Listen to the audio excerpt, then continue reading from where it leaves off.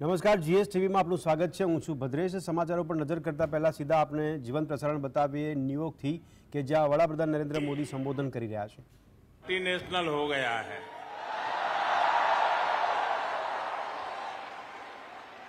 Local से global हो गया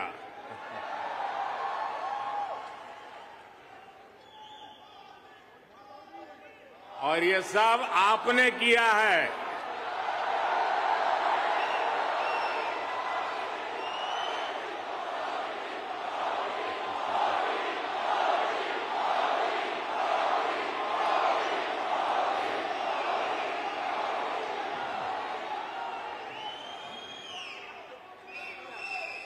अपने दिल में भारत को बसाकर रखने वाले हर भारतीय ने ये किया है। साथियों, यहाँ आप इतनी दूर दूर से आए हैं। कुछ पुराने चेहरे हैं, कुछ नए चेहरे हैं आपका यह प्यार, ये मेरा बहुत बड़ा सौभाग्य है।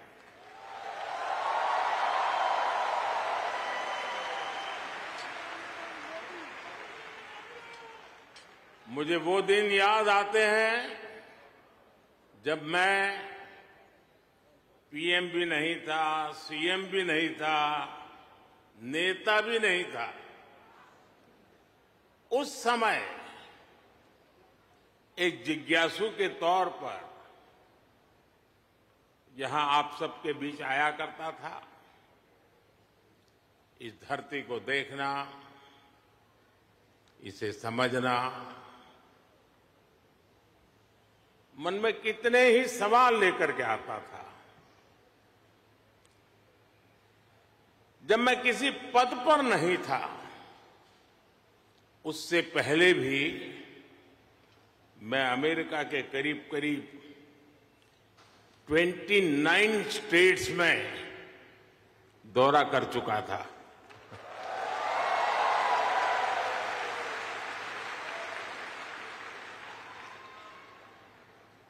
उसके बाद जब मैं सीएम बना तो टेक्नोलॉजी के माध्यम से आपके साथ जुड़ने का सिलसिला जारी रहा।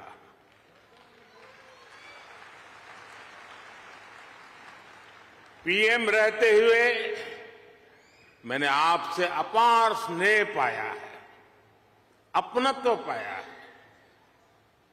2014 में मेडिसन स्क्वायर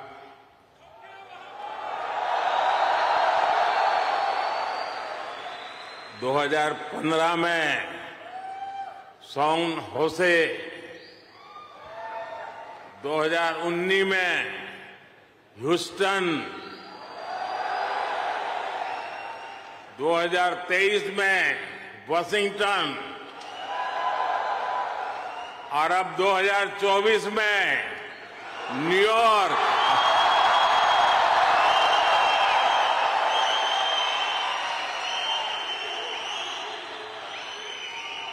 और आप लोग हर बार पिछला रिकॉर्ड तोड़ देते हैं।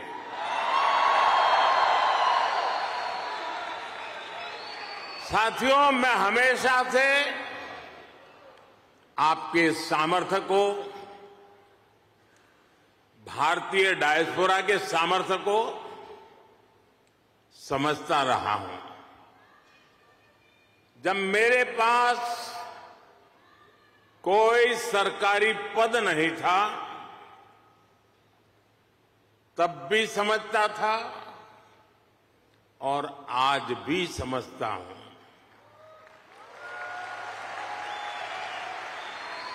आप सब मेरे लिए हमेशा से भारत के सबसे मज़बूत ब्रांड एम्बेसडर रहे हैं।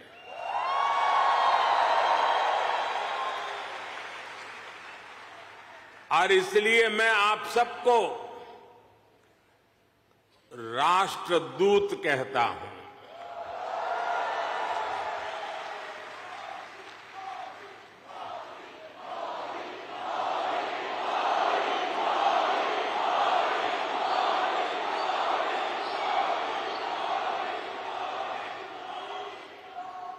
आपने अमेरिका को भारत से और भारत को अमेरिका से कनेक्ट किया है।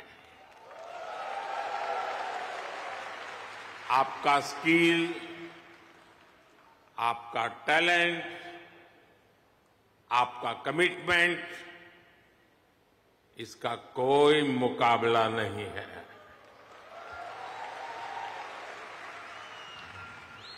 आप सात समंदर पार भले आए गए हैं, लेकिन कोई समंदर इतना गहरा नहीं जो दिल की गहराइयों में बसे, हिंदुस्तान को आपसे दूर कर सके।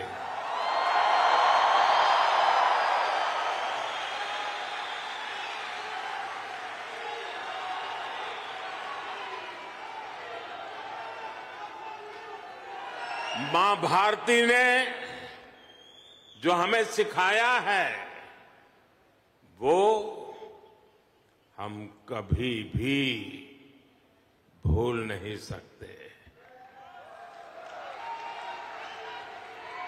हम जहाँ भी जाते हैं, सबको परिवार मानकर उनसे घुल मिल जाते हैं। डायवर्सिटी को समझना, डायवर्सिटी को जीना, उसे अपने जीवन में उतारना, ये हमारे संस्कारों में है, हमारी रगों में है।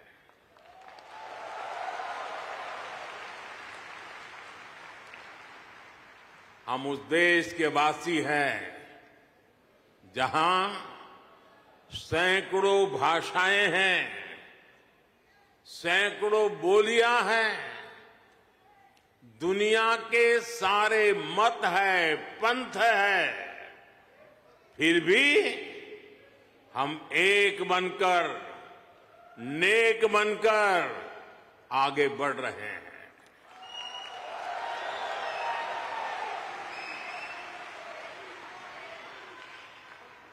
यहाँ इस हॉल में ही देखिए कोई तमिल बोलता है, कोई तेलुगु, कोई मलयालम तो कोई कन्नड़ा, कोई पंजाबी तो कोई मराठी, और तो कोई गुजराती।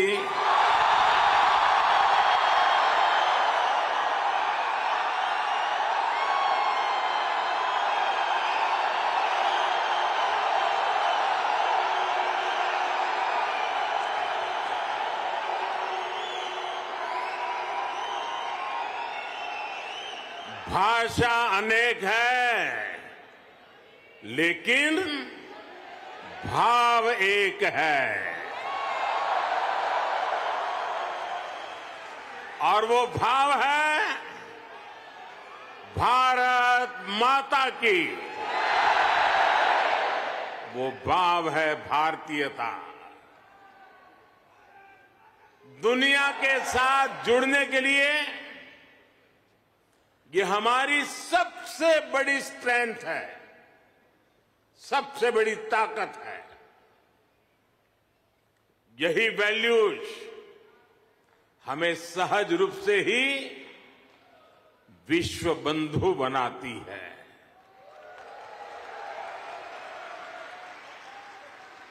हमारे यहाँ कहा जाता है, तेन तकतेन भुंजी था। यानी जो त्याग करते हैं वे ही भोग पाते हैं। हम दूसरों का भला करके, त्याग करके सुख पाते हैं। और हम किसी भी देश में रहे, ये भावना नहीं बदलती है। हम जिस सोसाइटी में रहते हैं वहाँ ज़्यादा से ज़्यादा योगदान करते हैं। यहाँ अमेरिका में आपने डॉक्टर्स के रूप में, रिसर्चर्स के रूप में, टेक प्रोफेशनल्स के रूप में, साइंटिस्ट के रूप में, या दूसरे प्रोफेशंस में जो परचम लहराया हुआ है, वो इसी का प्रतीक है। अभी कुछ समय पहले ही तो यहाँ T twenty cricket world cup हुआ था।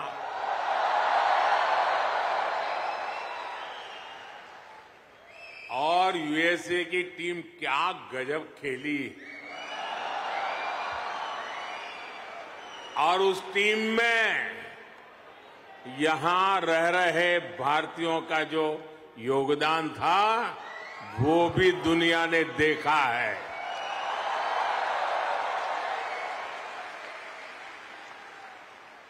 साथियों, दुनिया के लिए एआई का मतलब है आर्टिफिशियल इंटेलिजेंस लेकिन मैं मानता हूँ कि एआई का मतलब है अमेरिकन इंडियन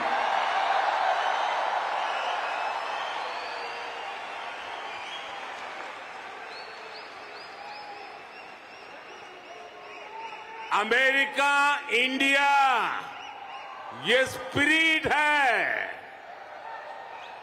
और वही तो नई दुनिया का एआई पावर है।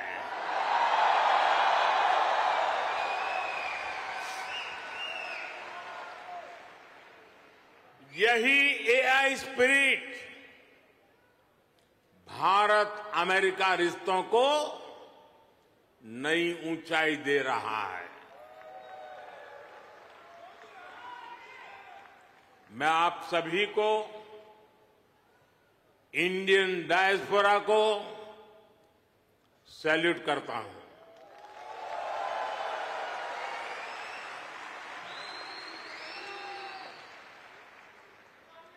आई salute you all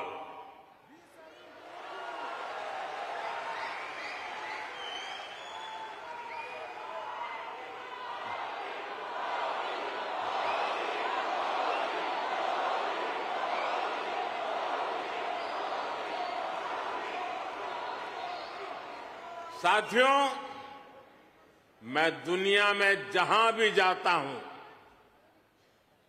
her leader के मुँह से भारतीय डायस्पोरा की तारीफ़ ही सुनता हूँ।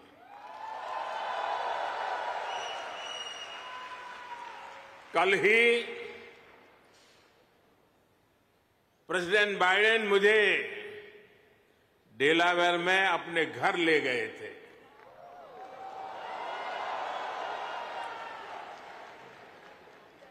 उनकी आत्मीयता उनकी गर्मजोशी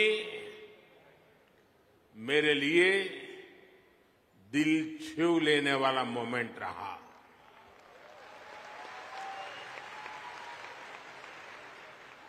ये सम्मान 140 करोड़ भारतीयों का है।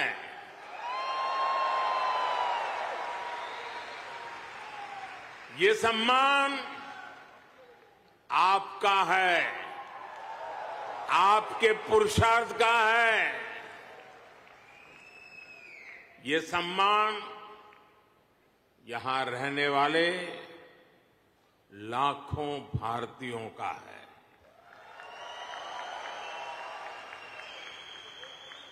मैं प्रेसिडेंट बाइडेन का आभार करूँगा और साथ ही आपका भी आभार व्यक्त करूँगा।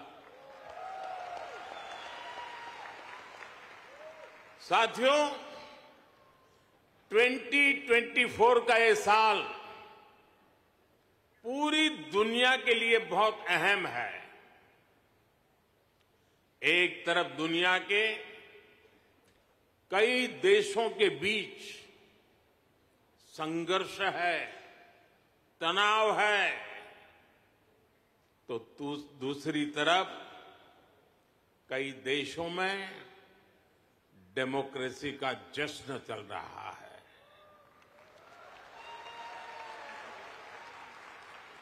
भारत और अमेरिका डेमोक्रेसी के जश्न में भी एक साथ है। जहाँ अमेरिका में चुनाव होने वाले हैं और भारत में चुनाव हो चुके हैं।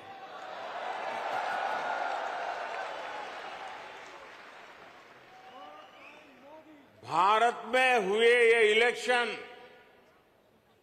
ह्यूमन हिस्ट्री के, अब तक के सबसे बड़े चुनाव थे।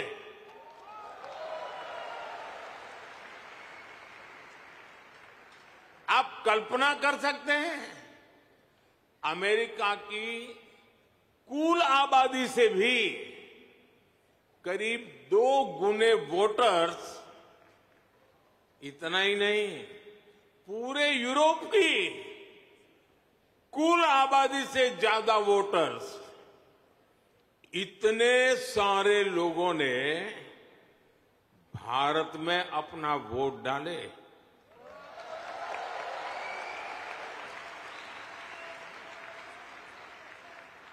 जब हम भारत की डेमोक्रेसी का उसका स्केल देखते हैं तो और भी गर्व होता है।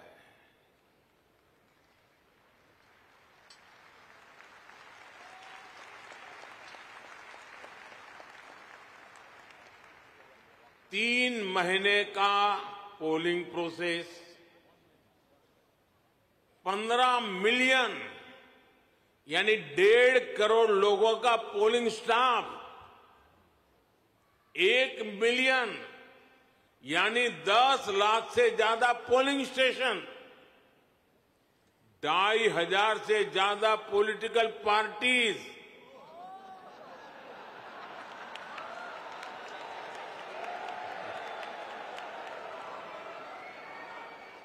आठ हज़ार से ज़्यादा कैंडिडेट्स अलग अलग भाषाओं के हज़ारों न्यूज़पेपर्स सैकड़ों रेडियो स्टेशन, सैकड़ों टीवी न्यूज़ चैनल, करोड़ों सोशल मीडिया अकाउंट्स, लाखों सोशल मीडिया चैनल्स, ये सब भारत की डेमोक्रेसी को वाइब्रेंट बनाते हैं।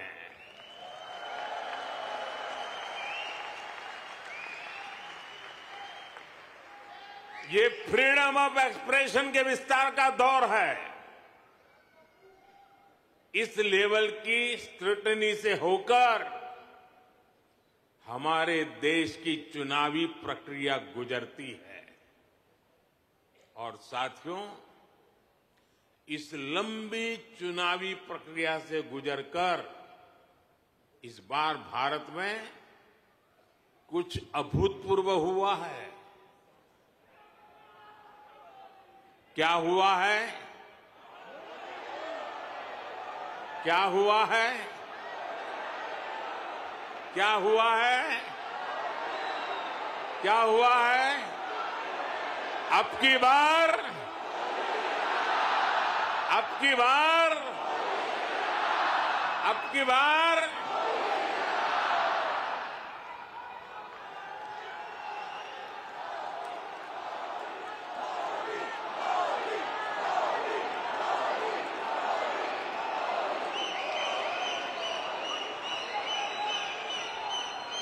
साथियों तीसरी बार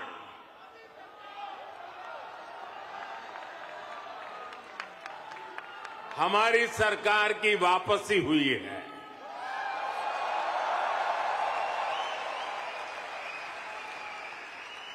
और ऐसा पिछले 60 सालों में भारत में नहीं हुआ था।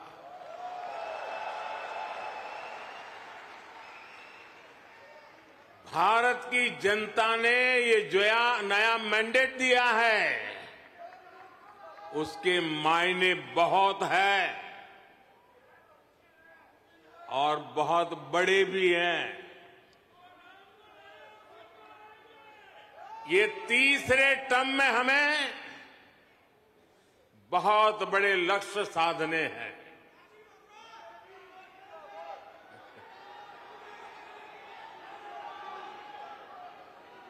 हमें तीन गुना ताकत और तीन गुना गति के साथ आगे बढ़ना है।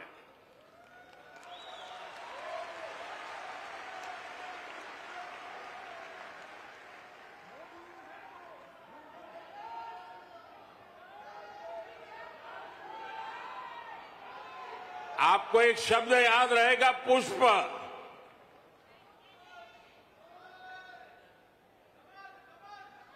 हाँ कमल मान लीजिए, मुझे इतराज नहीं है।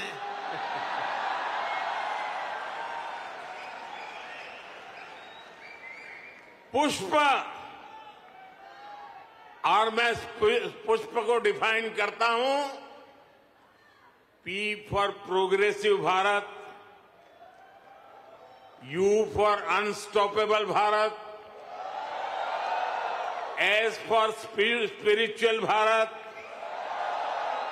H for humanity first को समर्पित Bharat P for prosperous Bharat यानी पुष्प पुष्प की पाँच पंखुड़ियों को मिलाकर ही विकसित भारत बनाएँगे। साथियों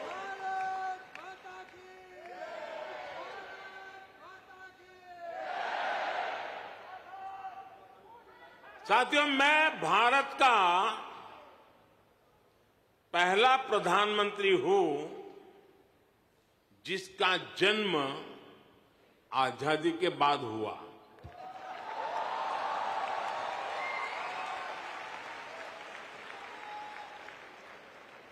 आज़ादी के आंदोलन में करोड़ों भारतीयों ने स्वराज के लिए जीवन खपा दिया था। उन्होंने अपना हित नहीं देखा। अपने कंफर्ट जोन की चिंता नहीं की। वो तो बस देश की आज़ादी के लिए सब कुछ भूलकर अंग्रेज़ों से लड़ने चल पड़े थे। उस सफ़र में किसी को फांसी का फंदा मिला,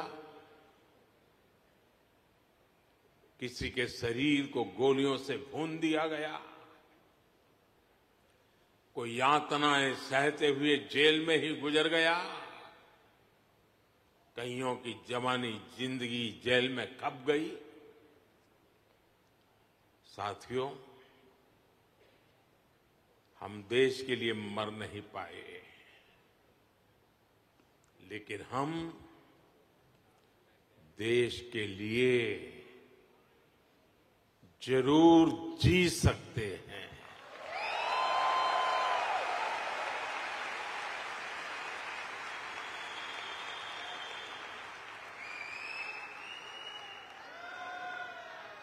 मरना हमारे नसीब नहीं था, जीना हमारे नसीब है।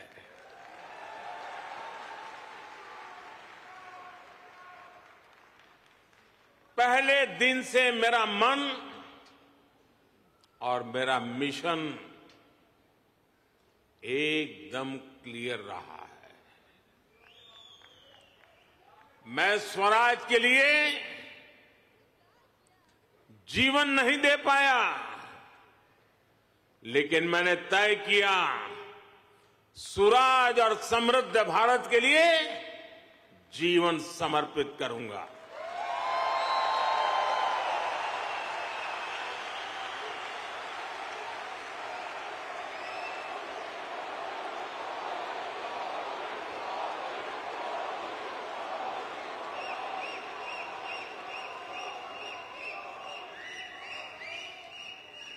मेरे जीवन का एक बहुत बड़ा हिस्सा ऐसा रहा, जिसमें मैं सालों साल तक पूरे देश में घूमता रहा,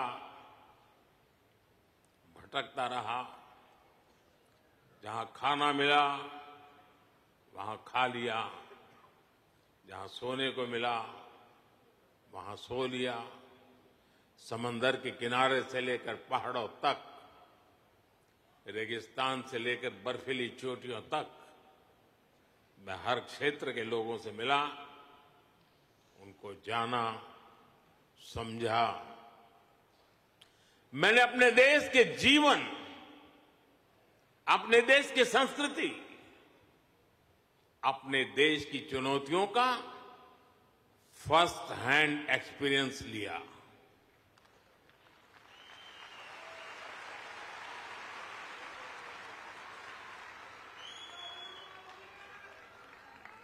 वो भी एक वक्त था जब मैंने अपनी दिशा कुछ और तय की थी। लेकिन नियति ने मुझे राजनीति में पहुँचा दिया। कभी नहीं सोचा था कि एक दिन चीफ मिनिस्टर बनूँगा और बना तो गुजरात का लॉन्गेस्ट सर्विंग चीफ मिनिस्टर बन गया। तेरह साल तक गुजरात का चीफ मिनिस्टर रहा। इसके बाद लोगों ने प्रमोशन देकर मुझे प्राइम मिनिस्टर बना दिया।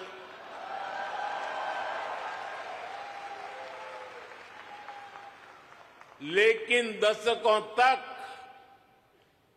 देश के कोने में कोने में जाकर मैंने जो सीखा है, उसी ने चाहे राज्य हो या केंद्र मेरे सेवा के मॉडल को, मेरे गवर्नेंस के मॉडल को इतना सफल बनाया है।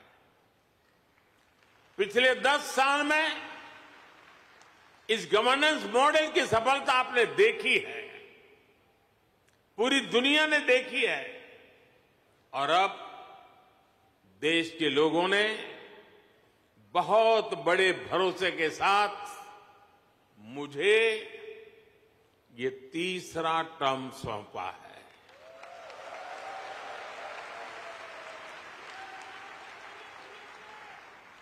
ये थर्ड टर्म में मैं तीन गुना ज़्यादा दायित्व बोध के साथ आगे बढ़ रहा हूँ। साथियों, आज भारत दुनिया के सबसे युवा देशों में से एक है। भारत एनर्जी से भरा हुआ है, सपनों से भरा हुआ है। रोज नए कीर्तिमान, हर रोज नई खबर। आज ही एक और बहुत अच्छी खबर मिली है।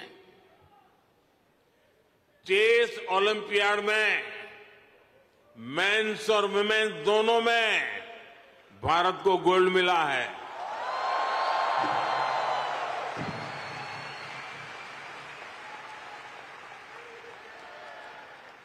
लेकिन एक और बात बताऊँ, जब ज़्यादा तालियाँ बजानी पड़ेगी। ये लगभग सौ साल के इतिहास में पहली बार हुआ है।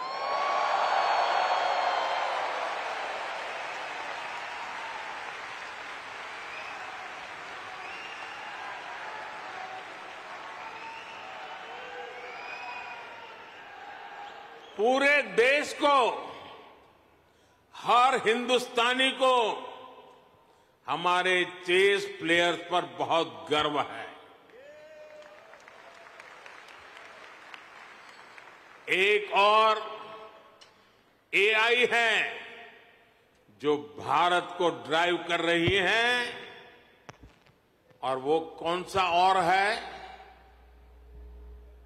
वो है A for aspirational I for India aspirational India ये नया फोर्स है, नई ऊर्जा है। आज करोड़ों भारतीयों की एस्पिरेशन भारत की ग्रोथ को ड्राइव कर रही है। हर एस्पिरेशन नए अचीवमेंट को जन्म देती है। और हर अचीवमेंट नए एस्पिरेशन के लिए खाद पानी बन रही है।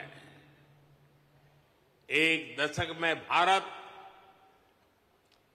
दसवें नंबर से दसवें नंबर से पाँचवें नंबर की इकोनॉमी बन गया।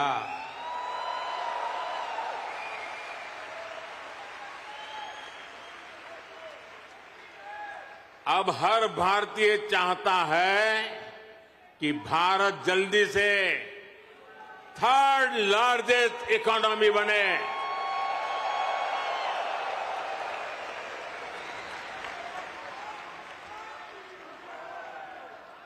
आज देश के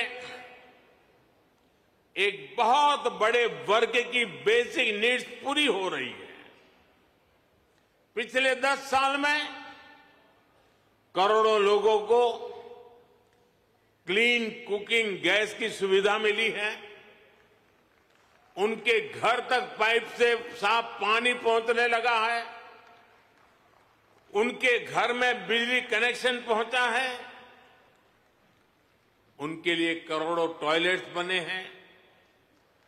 ऐसे करोड़ों लोग अब क्वालिटी लाइफ चाहते हैं। साथियों, अब भारत के लोगों को सिर्फ़ रोड नहीं, उन्हें शानदार एक्सप्रेस वे चाहिए। अब भारत के लोगों को सिर्फ़ रेल कनेक्टिविटी नहीं, उन्हें हाई स्पीड ट्रेन चाहिए। हर भारत के भारत के हर शहर की अपेक्षा है, उसके यहाँ मेट्रो चले। भारत के हर शहर की अपेक्षा है, उसका अपना एयरपोर्ट हो। देश का हर नागरिक, हर गाँव, शहर चाहता है कि उसके यहाँ दुनिया की बेस्ट सुविधाएँ हो। और इसका नतीजा हम देख रहे हैं। 2014 में भारत के सिर्फ़ पाँच शहरों में मेट्रो थी। आज तेईस शहरों में मेट्रो है। आज दुनिया का दूसरा सबसे बड़ा नेट, मेट्रो नेटवर्क भारत में है।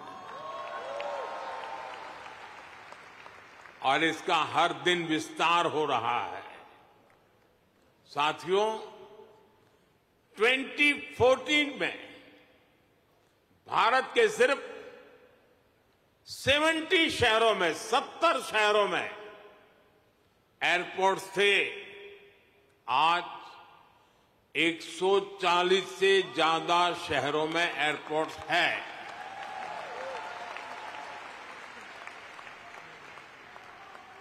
ट्वेंटी फोर्टीन में 100 से भी कम ग्राम पंचायतों में ब्रॉडबैंड कनेक्टिविटी थी, सौ से भी कम। आज दो लाख से भी ज़्यादा पंचायतों में ब्रॉडबैंड कनेक्टिविटी है। 2014 में भारत में 140 मिलियन, यानी 14 करोड़ के आसपास एलपीजी कंज्यूमर थे। आज भारत में 310 मिलियन, यानी 31 करोड़ से ज़्यादा एलपीजी कंज्यूमर है। जिस काम में पहले सालों लग जाते थे, वो काम अब महीनों में खत्म हो रहा है।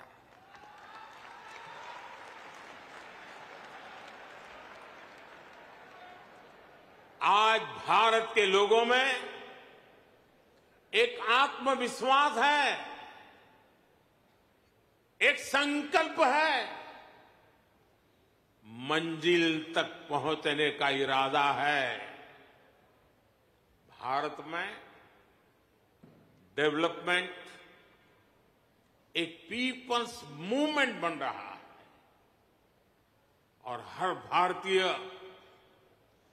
विकास के इस मूवमेंट में बराबर का पार्टनर बन गया है। उसे भरोसा है भारत की सफलता पर, भारत की उपलब्धियों पर। साथियों, भारत आज लैंड ऑफ़ अपॉर्चुनिटीज़ है। अवसरों की धरती है।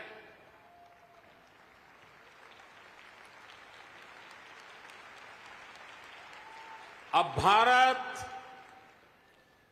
अवसरों का इंतज़ार नहीं करता। अब भारत अवसरों का निर्माण करता है।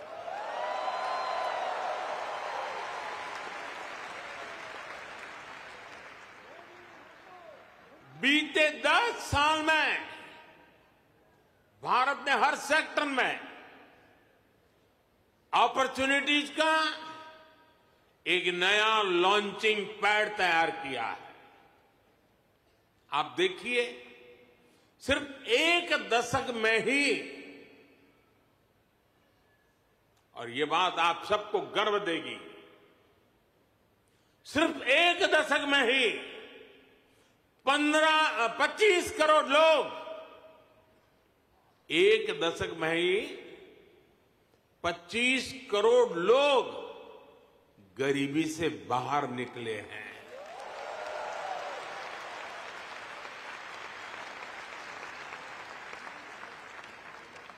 ये कैसे हुआ?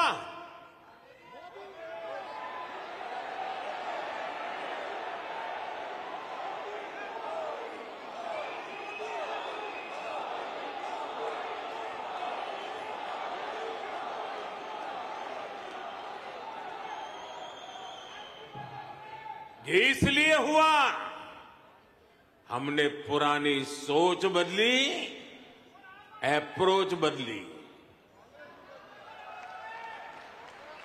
हमने गरीब को एम्पावर करने पर फोकस किया। 50 करोड़, यानी 500 मिलियन से ज़्यादा लोगों को बैंकिंग सिस्टम से जोड़ा। 55 करोड़ यानी 550 मिलियन से ज़्यादा लोगों को पाँच लाख रुपए तक का फ्री मेडिकल ट्रीटमेंट देना। चार करोड़ यानी 40 मिलियन से ज़्यादा फैमिलीज़ को पक्के घर देना। कोलेट्रल फ्री लोन्स का सिस्टम बनाकर करोड़ों लोगों को ईज ऑफ़ क्रेडिट क्रेडिट से जोड़ना। ऐसे अनेकों काम हुए, तब इतने लोगों ने खुद ने गरीबी को हराया।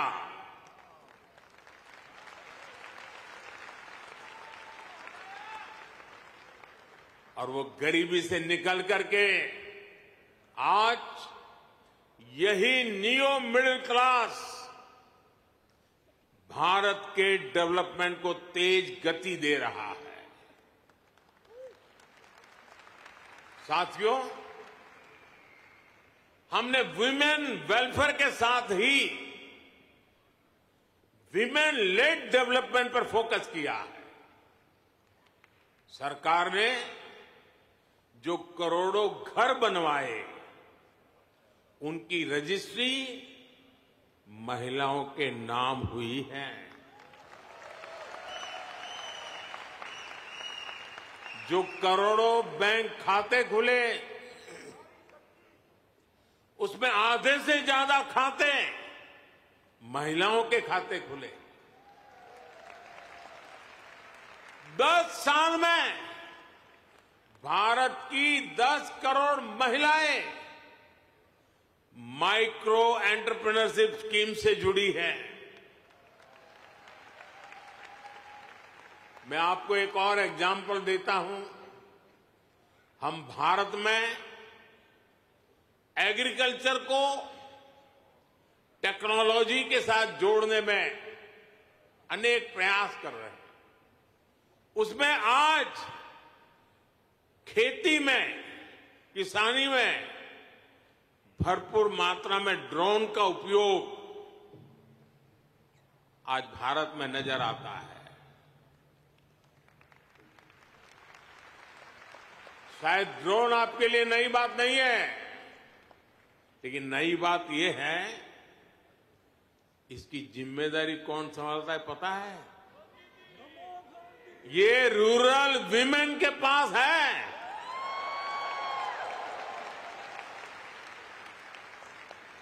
हम हज़ारों महिलाओं को ड्रोन पायलट्स बना रहे हैं। एग्रीकल्चर में टेक्नोलॉजी का ये बहुत बड़ा रिवॉल्यूशन गाँव की महिलाएँ लेकर आ रही है। साथियों, जो एरियाज़ पहले निग्लेक्टेड थे, वो आज देश की प्रायोरिटी है। आज भारत जितना कनेक्टेड है, उतना पहले कभी नहीं रहा। आप हैरान होंगे, आज भारत का 5G मार्केट बताऊँ बुरा नहीं लगेगा ना? आज भारत का 5G मार्केट अमेरिका से भी बड़ा हो चुका है।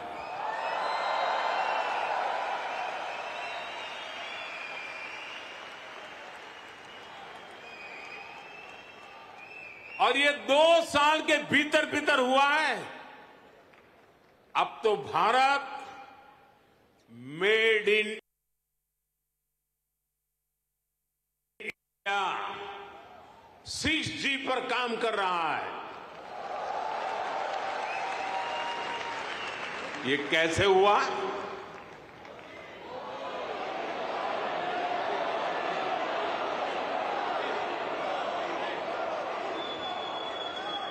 ये इसलिए हुआ क्योंकि हमने इस सेक्टर को आगे बढ़ाने के लिए पॉलिसीज़ बनाई। हमने मेड इन इंडिया टेक्नोलॉजी पर काम किया। हमने सस्ते डेटा पर मोबाइल फ़ोन मैन्युफैक्चरिंग पर फोकस किया। आज दुनिया का करीब करीब हर बड़ा mobile brand made in India है। आज भारत दुनिया का दूसरा सबसे बड़ा मोबाइल मैन्युफैक्चरर है।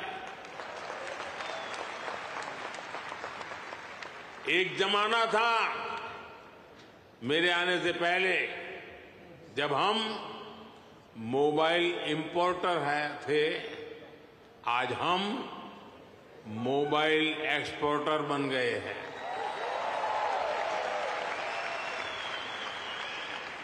साथियों, अब भारत पीछे नहीं चलता। अब भारत नई व्यवस्थाएँ बनाता है, अब भारत नेतृत्व करता है।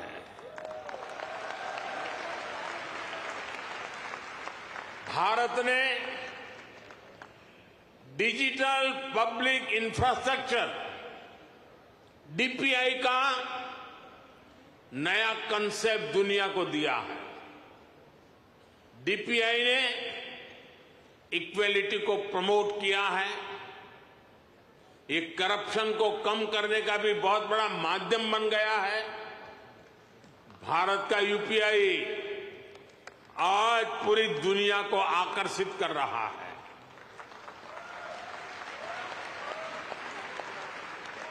आपकी जेब में वॉलेट है। लेकिन भारत में लोगों की जेब के साथ ही फ़ोन में वॉलेट है। ई वॉलेट है। अनेक भारतीय अब अपने डॉक्यूमेंट्स फ़िज़िकल फोल्डर्स में नहीं रखते। उनके पास डिजी लॉकर है। वो एयरपोर्ट पे जाते हैं तो डीजी यात्रा से सीमलेस ट्रैवल करते हैं। ये digital public infrastructure jobs innovation और इससे जुड़ी हर टेक्नोलॉजी का लॉन्चिंग पैड बन गया है। साथियों, भारत भारत अब रुकने वाला नहीं है। भारत अब थमने वाला नहीं है। भारत चाहता है दुनिया में ज़्यादा से ज़्यादा device made in India chip पर चलें। हमने सेमीकंडक्टर सेक्टर को भी भारत की तेज ग्रोथ का आधार बनाया है। पिछले साल जून में भारत ने सेमीकंडक्टर सेक्टर के लिए इंसेंटिव घोषित किए थे। इसके कुछ ही महीनों बाद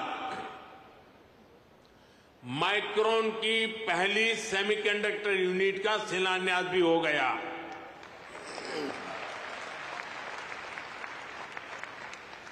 अब तक भारत में ऐसी पाँच यूनिट्स स्वीकृत हो चुकी है।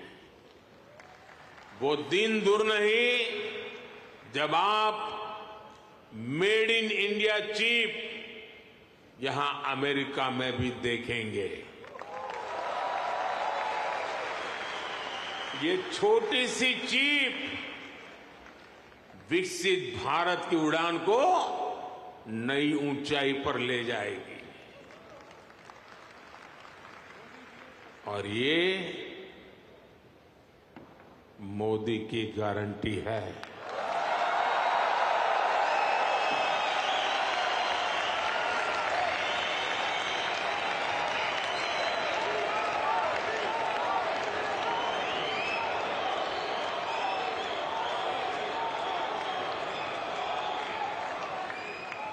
साथियों, आज भारत में रिफॉर्म्स के लिए जो कन्विक्शन जो कमिटमेंट है, वो अभूतपूर्व है। हमारा ग्रीन एनर्जी ट्रांजिशन प्रोग्राम इसका बहुत बड़ा उदाहरण है। दुनिया की 17 परसेंट पॉपुलेशन होने के बावजूद ग्लोबल कार्बन एमिशन में भारत की हिस्सेदारी सिर्फ़ चार परसेंट है। दुनिया को बर्बाद करने में हमारा कोई रोल नहीं है।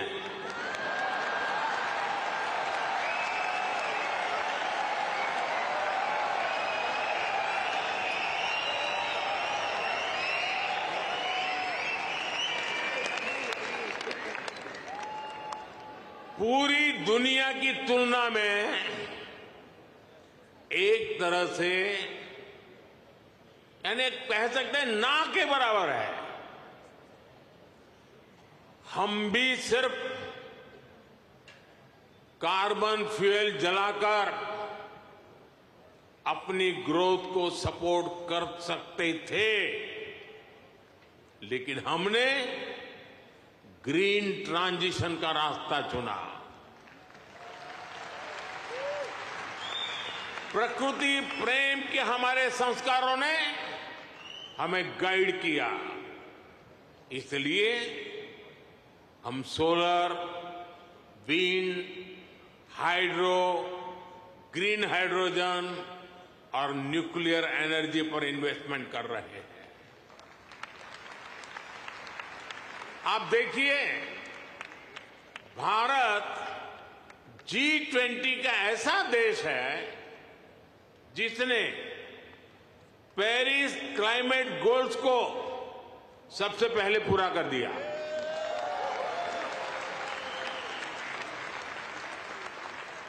2014 के बाद से भारत ने अपनी सोलर एनर्जी इंस्टॉल कैपेसिटी को 30 गुना से ज़्यादा बढ़ाया है। हम देश के हर घर को सोलर पावर होम बनाने में जुटे हैं। इसके लिए रूफ टॉप सोलर का बहुत बड़ा मिशन हमने शुरू किया है। आज हमारे रेलवे स्टेशन और एयरपोर्ट सोलराइज हो रहे हैं। भारत घरों से लेकर सड़कों तक एनर्जी एफिशिएंट लाइटिंग के रास्ते पर चल पड़ा है। इन सारे प्रयासों से भारत भारत में बहुत बड़ी संख्या में ग्रीन जॉब पैदा हो रहे हैं। साथियों 21वीं सदी का भारत, एजुकेशन, स्किल, रिसर्च और इनोवेशन के दम पर आगे बढ़ रहा है।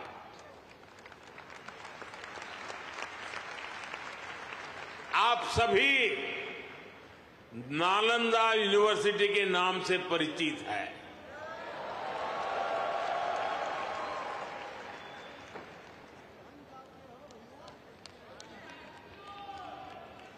कुछ समय पहले ही भारत की प्राचीन नालंदा यूनिवर्सिटी नए अवतार में सामने आई है।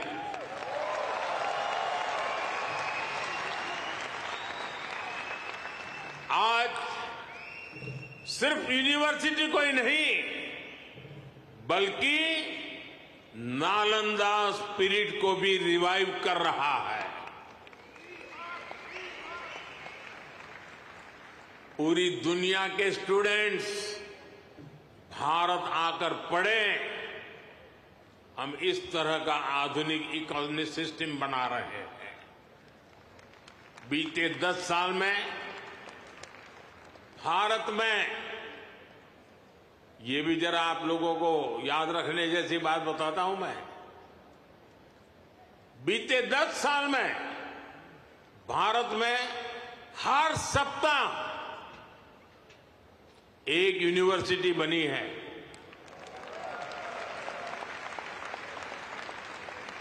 हर दिन दो नए कॉलेज बने हैं। हर दिन एक नई आईटीआई की स्थापना हुई है। दस साल में ट्रिपल आईटी की संख्या नौ से बढ़कर पच्चीस हो चुकी है।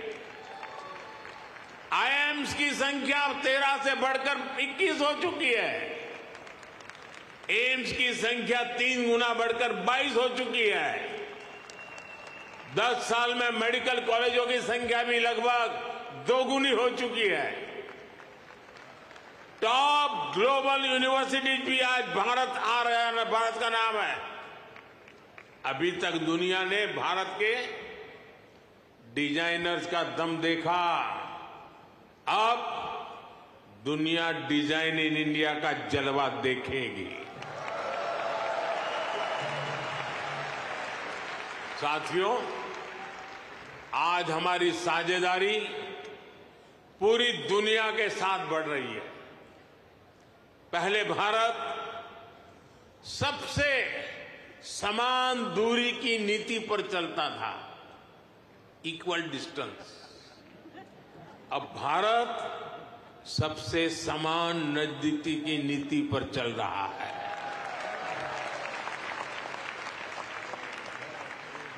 हम ग्लोबल साउथ की भी बुलंद आवाज़ बन रहे हैं। आपने देखा होगा, भारत की पहल पर जी ट्वेंटी समिट में अफ्रीकन यूनियन को स्थायी सदस्यता मिली। आज जब भारत ग्लोबल प्लेटफॉर्म पर कुछ कहता है तो दुनिया सुनती है।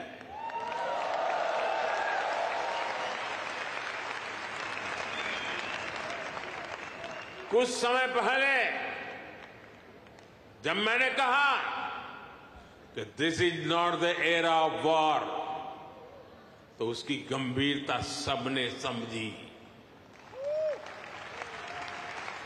साथियों, आज दुनिया में कहीं भी संकट आए, भारत फ़र्स्ट रिस्पॉन्डर के रूप में सामने आता। है कोरोना के समय में हमने 150 से ज़्यादा देशों को वैक्सीन और दवाइयाँ भेजी। कहीं भूकंप आए, कहीं साइक्लोन आए, कहीं गृह युद्ध हो, हम मदद के लिए सबसे पहले पहुँचते हैं। यही हमारे पुरखों की सीख है। यही हमारे संस्कार है। साथियों, आज का भारत दुनिया में एक नए कैटलिक एजेंट की तरह उभर रहा है। और इसका प्रभाव हर सेक्टर में दिखेगा। ग्लोबल ग्रोथ के प्रोसेस को तेज करने के लिए भारत का रोल अहम होगा। ग्लोबल पीस के प्रोसेस को तेज करने के लिए भारत का रोल अहम होगा।